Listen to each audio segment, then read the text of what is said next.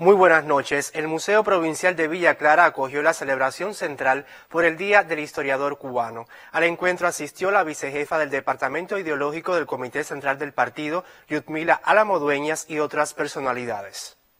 Una labor paciente de años desde la enseñanza, la investigación y la divulgación de la historia ha permitido que la filial Villa Clara de la Unión de Historiadores de Cuba se haya ganado el derecho de celebrar en Santa Clara el acto nacional por el Día del Historiador Cubano. Que durante una jornada, desde el 17 de junio hasta el 31 de julio, va a rendir homenaje a todos los historiadores cubanos, eh, tanto los que hoy se mantienen en activo como todos aquellos que ya físicamente no nos acompaña. En este acto nacional que marca la efemérides del historiador cubano, varios exponentes, profesionales e instituciones fueron premiados y reconocidos, pues lo didáctico de la historia se lleva en el estudio diario y en la búsqueda y promoción constante de esta disciplina que es esencial para conocer, reivindicar y legitimar la historia. Desde Villa Clara, Hilda Cárdenas Conyedo, Canal Cubano de Noticias.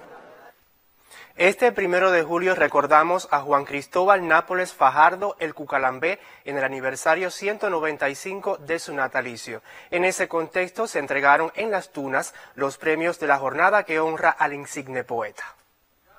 A 195 años del natalicio del poeta Juan Cristóbal Nápoles Fajardo, escritores tuneros lo recordaron hoy en los espacios Catauro de la Décima y la Fiesta del Bardo, realizados en la sede del Comité Provincial de la Unión de Escritores y Artistas de Cuba, como parte de las actividades de la presente edición de la Jornada Cucalambiana.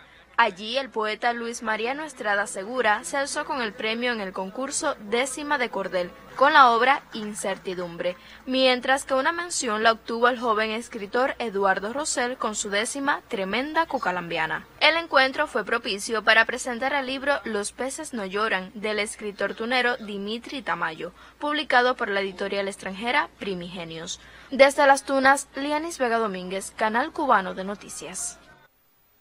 La Sala Villena de la UNIAD acoge las sesiones teóricas del Festival Aquelarre 2024. El encuentro se dedica a los 30 años del Centro Promotor del Humor.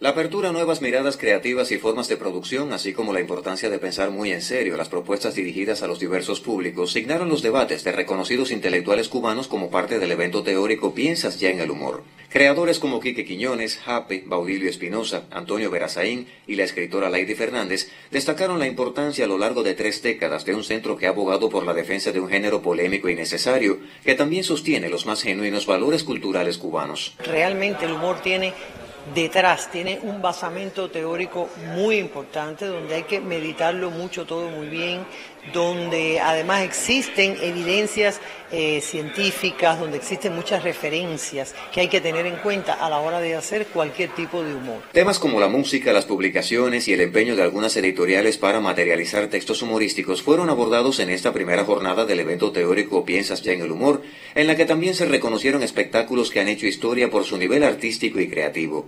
A esta sesión, a la que asistió la presidenta de la UNEAC, Marta Bonet de la Cruz, le seguirán otras dos, martes y miércoles, dedicadas a la racialidad y el humor en el audiovisual. José Vázquez Ferreiro, Canal Cubano de Noticias.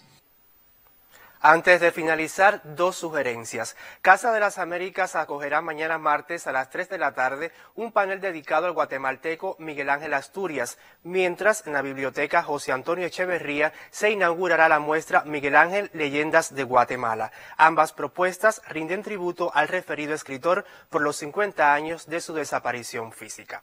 Así me despido, tenga muy buenas noches.